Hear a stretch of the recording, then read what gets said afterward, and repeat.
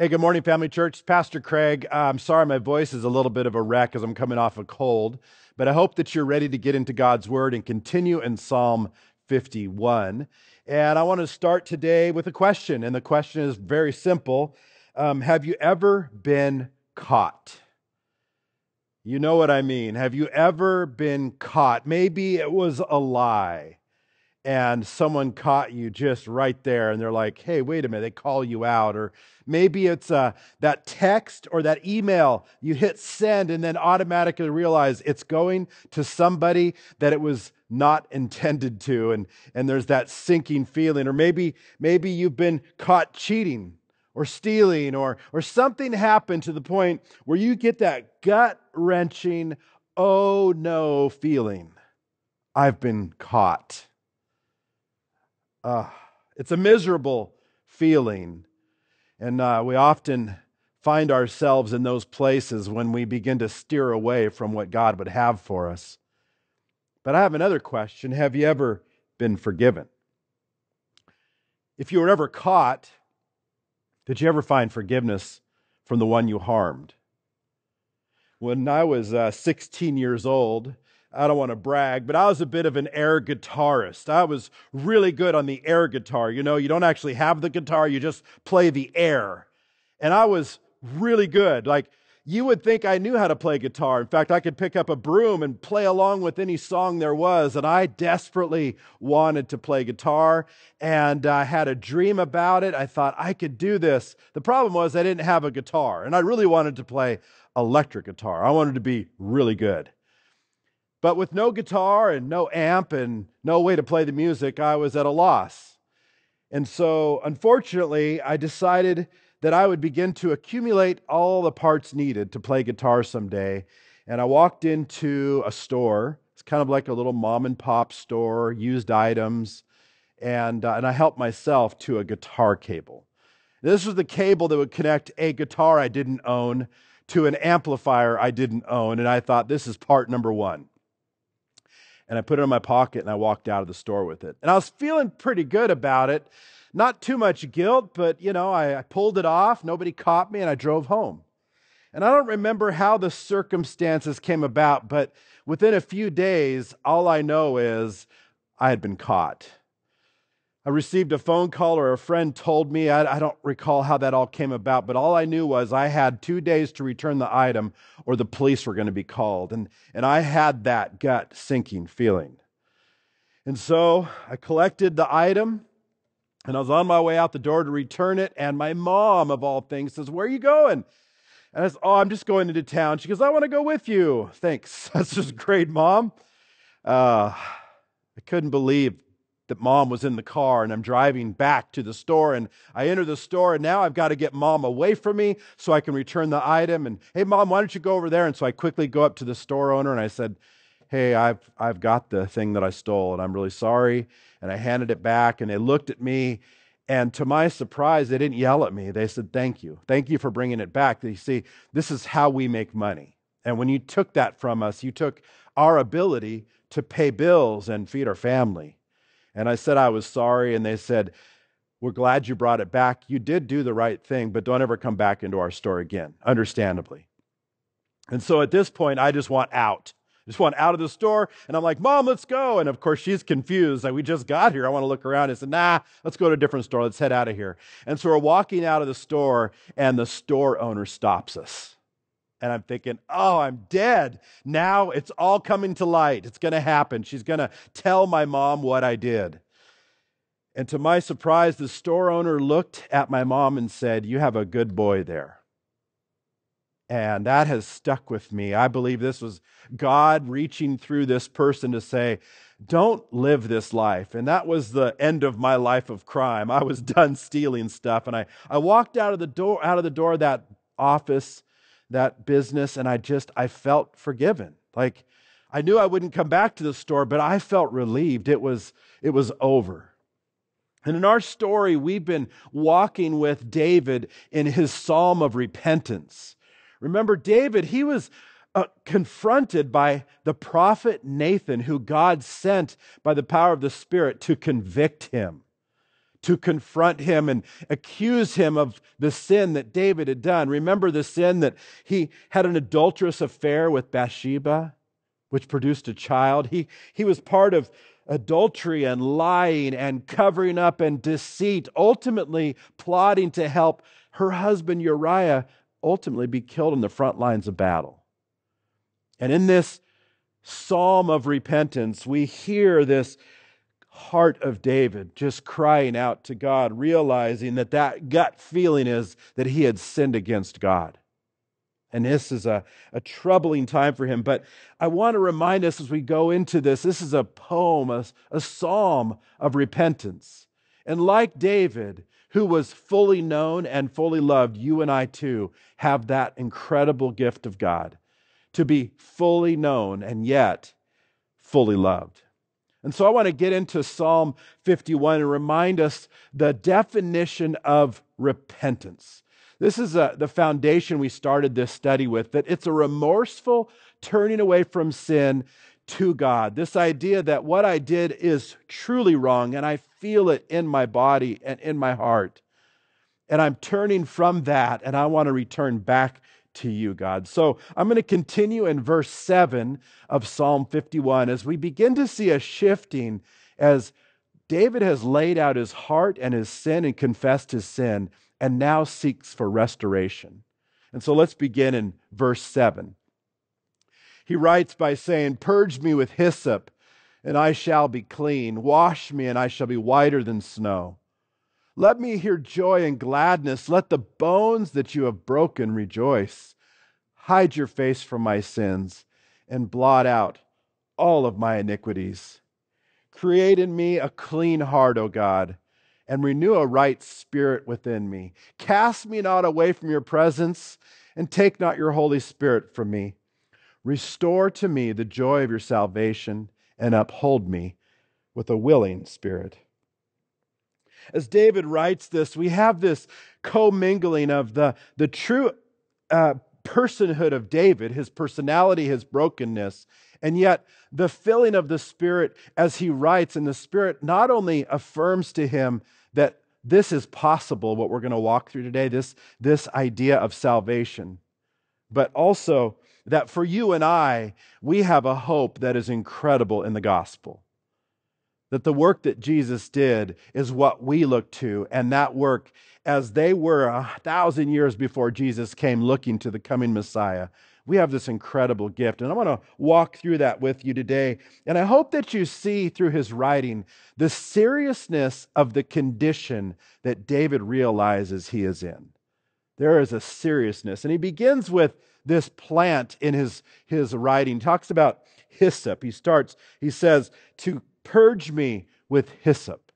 Now, now hyssop is an interesting uh, plant that shows up throughout Scripture, and it's known to be very fragrant. It's also known to have healing properties, you know, ailments of the stomach and things it can soothe. But it's also the plant that was used back in the story, you might remember, when Israel was about to flee Egypt that they were commanded to take hyssop and, and to spread the blood on the doorposts. And as the Lord came over, he would pass over the homes, seeing them as forgiven and, and able to be free. We also see that priests would use this for purification ceremonies and cleansing ceremonies before they would enter into the temple. And hyssop had a, a purifying thought and quality to it. And ultimately, we see Jesus on the cross and he's given a sponge of a vinegar wine on the stalk of hyssop. And it's shortly right after that that he utters his last breath and declares, It is finished. David knows the significance, and the Holy Spirit directing carries the significance of this plant as a cleansing property. And so I want to talk today about what it means to be pure. And so I want to point out the concept and the idea today, starting with gospel purity. Gospel purity. Some of you hear purity and you think about sexual purity, and that's as far as your brain goes because it's not a common word we use outside of that. But we're going to talk about it from a complete cleansing, complete through and through, that a kind of cleansing that only God can do, and that the finished work on the cross made available for me and you. This, this complete cleansing. Now, if I grabbed a glass of water and it was pure water and you drank it, you would say, This is good. But if I went out in the yard and grabbed some of the dog remnants and I walked up and I said, How much can I add to this cup? And you'd still be okay with it. Most of you would say, uh, Don't put even a speck in there. I want pure water. I don't want tainted water with your dog presence. That's what we're talking about. This idea that it's a purity, a gospel purity. And look at what David's desire is. He desires to be made pure, to be clean. And so look at his words. He says, Purge me with hyssop, and I shall be clean. Wash me, and I shall be whiter than snow. The emphasis here, I want you to pay attention. Let's not miss it. He says, Purge me. In other words, God, do what only you can do because I'm helpless here. God, purge me. And then he says, Wash me. God, do what only you can do, and then I will be whiter than snow. You know, you and I take this for granted snow. Um, you know, we were just in Cambodia. Those people don't see snow. In fact, I was there in January. It was cold here, and I forgot it was winter here in Oregon. But for you and I this week, we had snow. At my house, we had about four inches, and I love the beauty of snow. Snow has this great attribute it covers up a multitude of problems in the yard. Like there's this stump in my yard that I cut off the tree of, and the remnant is still there, and it was gone for a little while, and it was covered with just pure white beauty. And of course, during the rainy season, it's a little tough to pick up all the dog remnants and they were covered up. And when you walk out and you see the trees decorated with this just beautiful white on the leaves and on the branches, it's just an incredible view that we see the beauty. But he's not just talking about an outward, it looks nice. He's referring to a depth. And you and I, when we read this and we say, shall be whiter than snow, clean me, I'll be whiter than snow. We know what snow looks like, and you have a unique perspective that some in the world don't have. But you understand what pure snow looks like the snow that's not been touched, the snow you can pick up and eat.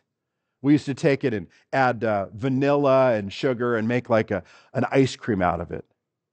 That's the kind of purity we're talking about. That's it's untainted. And so David says, Purge me and wash me, and I'll be whiter than snow. And then he, he says, Let me hear joy and gladness. In other words, God, I have been tormented inside. I am struggling here. Bring back joy to my life. Bring back gladness. Let the bones that you have broken rejoice. And when, when I first read this, it's kind of, it's a play on words, right? This is a poem. And I was reflecting back and I saw um, kind of a reference to verse or to Psalm 32, David writing again. Let me just read something that I think adds to the thought here. Let the bones that you have broken rejoice. But listen to what he says in Psalm 32. On verse 3, he says, For when I kept silent, my bones wasted away through my groaning day all day long. For day and night your hand was heavy upon me my strength was dried up as by the heat of summer. He's using the poetic uh, kind of symbolism to say, the oppression of my sin was crushing me.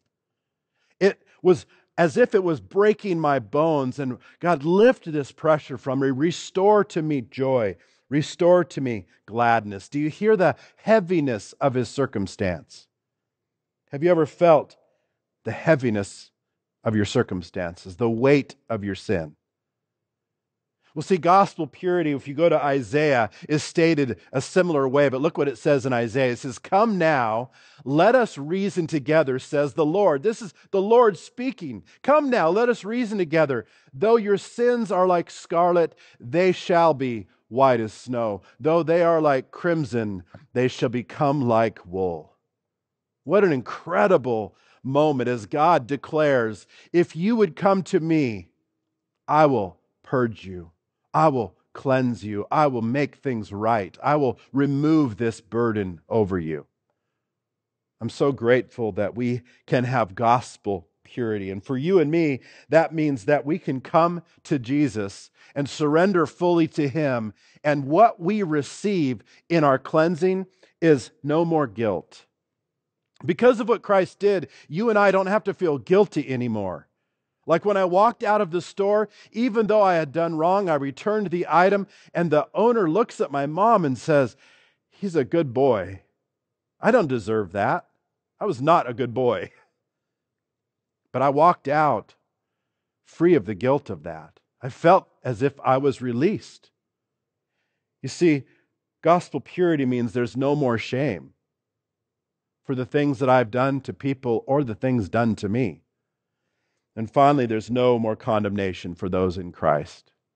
No longer will your sin be held against you, that Jesus has taken that from you. That's gospel purity 100% removal of sin. Wow. I hope that begins to restore joy to your face. I hope you're, you're smiling internally and even externally, going, That's incredible. This is such a gift. God, why would you be so gracious to me? Why would you be so gracious? The second thing I want to press into today in David's writings is the idea of gospel righteousness. Gospel righteousness. This, this very idea that Jesus said, Look, I took on the sin of the world and was treated like a sinner so that you could be treated as righteous this gospel righteousness. As David presses in, look at his words. He says, Hide your face from my sins and blot out all of my iniquities. Create in me a clean heart, O God, and renew a right spirit with me. Renew a right spirit, God. Clean me. I want to be in line and in step with your ways again. I want to have my relationship, God, restored back to what it was designed to be. Create in me a right spirit. I want to be fully devoted to you. Do you remember last week, Pastor Drew? If you missed the message, I encourage you to go back and watch. But, but he was walking through the psalm, and there's this statement that David says when he says, Against you and only you, God, have I sinned. And I think Pastor Drew did a great job of, of making the, the point. It wasn't that people around him weren't harmed by the sin. In fact, Bathsheba had problems as a result of this. Her husband was killed. There are soldiers who died as a result of his deception. There's, there's untold broken relationships. But as I was kind of reflecting and preparing, I thought about this. You know, you and I, we could spend our entire time on earth doing everything possible, and if it was possible, to attain perfect relationship with everybody, if that was possible. If you and I, in our own energy, could go to those we've harmed, confess, and restore relationships to perfect trust and perfect unity, even if that was possible, we still have a problem. You see, even though we harmed people in our sin or, or did injustice to others, we still ultimately have sinned against God. And David cries out, he says, Restore this, create in me this clean heart, God. Clean my heart. Renew the spirit within me to have a right spirit, a righteous spirit. You see, even in that relationship, if we could somehow do this perfect relationship restoration on earth, we still have the greatest relationship is a problem if we don't come to the Lord. If we don't come to Christ, we are still broken. And so the psalmist David, he cries out. And I want to remind you of how this impacts us today. This is good gospel righteousness. Look what it says in 1 John 1 9. It says this If we confess our sins, he is faithful and just to forgive us our sins and to cleanse us from all unrighteousness. Let that soak in for a moment. You see, when we have given our life to Christ, when we look to the cross, the finished work, when we surrender fully, and when we confess, it says He is faithful and just to forgive us our sins and cleanse us from what unrighteousness? It said all. Once again, 100%. All unrighteousness. And David longed for that. And he asked God, please restore this spirit in me. Restore the relationship that I severed. Restore what only you can restore, God. Bring me back together. The next thing I'd like to focus on is the idea of gospel joy, because I think that it's a building moment. I think we have this gospel purity as a result of the work of Christ. When we placed our faith in Him, He declared us righteous. So we have gospel righteousness. And then ultimately, it should lead to gospel joy that wells up within us day after day. The reminder that I didn't just need Jesus five years ago, 10 years ago, whenever that day was that you surrendered to Him. I need Him today at this very moment. And so David continues this desire. You see, you and I do have a problem. If we don't understand what joy is, then we can get lost in what I'm going to share. You see, we often associate joy as happiness, and they're very different. See, happiness is that moment to moment emotion. We can be in pursuit of happiness all the time, looking for the next great thing that makes me feel really good. So, for example, if, if you walked in and said, Craig, I have a brand new Toyota Tacoma for you. And I'm like, what do you mean? It said, it's yours. Here's the keys. There's only one mile on it just to get it off the trailer and up the hill to you. It's yours. Man, I'll tell you, there would be happiness. Like, I can't believe it. Thank you very much. And if you'd like to do that, by all means, feel free to purchase a Toyota truck on my behalf. Oh, and deliver it to me, not for you. but just think about what that would be like for you. Someone brings you a new truck, you're like, oh, yes. And you get in the truck and you drive five minutes later and you total it. Uh, that is not going to be happiness anymore. It's going to be sorrow. Hopefully, no broken bones. It's that very object, that truck, brought me happiness and it brought sorrow. But joy is the gospel joy. It's a peace and hope fueled by the Holy Spirit despite my circumstances. Gospel joy is peace and hope fueled by the Holy Spirit despite my circumstances. And joy isn't about being ignorant in the hard times or being foolish in the good times, but it is a stability that says, beyond my circumstances, I have something so much better gospel joy. And so David continues in verse 11. He says, Cast me not away from your presence, and take not your Holy Spirit from me. This is a, a heavy moment. You see, in the Old Testament, we have to remember that the Holy Spirit was given to people for specific purposes, for specific times, given to kings, given to prophets. And David, you might remember if you went back to 1 Samuel, witnessed and was around when King Saul was removed from his kingship and the Holy Spirit taken from him and given to David.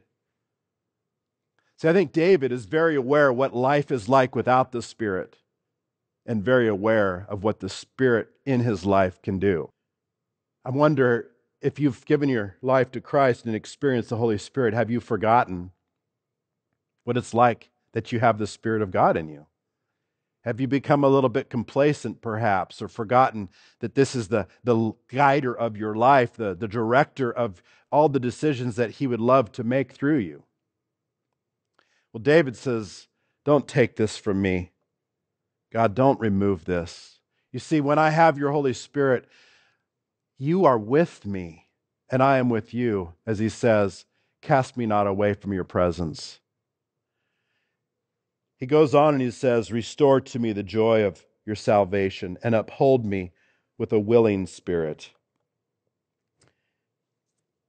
Restore to me the joy of your salvation. Have you ever found yourself struggling with joy. I, I think for those that don't yet know the Lord, who've not yet received Christ as their Savior, they seek this through happiness. They try to find something that they know is missing, ultimately, what only God can give. But when you come to Christ, we also have a problem. I, I think oftentimes we find Christians that try to live as close to the world as possible and in the world, but still maintain joy? You ever found yourself asking that question? Is this too far? Or maybe experiencing what feels like a removal of joy? Like, God, where are you? Have you ever struggled with that? You see, Chuck Smith, he's a pastor with the Calvary Chapel, was, was at one point, and, and he said it this way I'm afraid that people have too much Jesus to be happy in the world, but too much world to have joy in Christ. There's this danger when we, we think we can survive and live in what the world has to offer. We in pursuit of what the, uh, what the world has for us. But we forget the joy is only found in Christ. And the more we lean into the worldly things, the harder it is to remember that gospel joy, that good news that came into my life. And so I think as David writes, he says, Restore to me the joy of your salvation. Uphold me with a willing spirit. Let your spirit keep that joy alive in me. Help me not ask the question, How close can I live to the world? Instead, how can I live closer to you, God? How can I live closer to you? Restore that joy. I love this in Ephesians, speaking of the Holy Spirit. For those you and I, this I think David would have loved to have had this scripture. And for you and I today, we get to look at what was written in Ephesians. It says this In him you also, when you heard the word of truth, the gospel of your salvation, and believed in him, were sealed with the promised Holy Spirit, who is the guarantee of our inheritance until we acquire possession of it to the praise of his glory. Do you realize that this is a gospel truth for you and I today? This should be the welling up of our joy. That when we put our faith in Christ, it says we receive the Holy Spirit, and there's two key words that stand out here. The first one, you are sealed. The gospel joy is sealed in you in the Holy Spirit, not to be removed from you. In fact, second one, it's a guarantee of an inheritance that's waiting for you. That there's a day where you will acquire the fullness of what it means to be fully loved and fully known by God. The Holy Spirit is that guarantor. The Holy Spirit is the one that wells up in you gospel joy when you understand the salvation. So, my hope and my prayer for you today, as you go forward, as you begin to wrestle with How's my joy? How's the joy in my life? Have I remembered the true gospel joy, or have I let the world creep in and get in the way of my joy? Perhaps in the pursuit of happiness, but at the neglect of true joy in Christ. I'm grateful for David's writing because he helps to remind us that there's hope, that we have a God who fully knows us and fully loves us. Love you guys. Can't wait to see you next time. I'm going to hand off to the campus pastors. Well, are you wrestling? Are you wrestling at all? So here's my question for you today Where does your joy come from? If you don't yet know Christ, my guess is that your joy is truly just happiness. It's momentary, it comes and it goes. Little happiness here, a sprinkle there, some sorrow, and a, and a fight and struggle to get back to happiness. And sometimes that comes through a variety of different ways in which we try to find happiness in relationship, in work, with money, sex, drugs. There's lots of ways we try to fill what only joy can fill. So, are you experiencing joy? If you don't yet know the Lord, I would encourage you to spend some time reading through the psalm and perhaps turning your attention to God and confessing that you need Him. But if you do know the Lord, I encourage you to evaluate how's your joy doing? And where do you need to be reminded that you're pure because of Christ, that you've been declared righteous because of Christ, and then that joy should well up in you despite your circumstances. And I know there are tough seasons out there. So don't think that this is just a cliche phrase, just get over it. But sometimes we do need to get through it to remind ourselves where our joy really comes from and let that well up in you.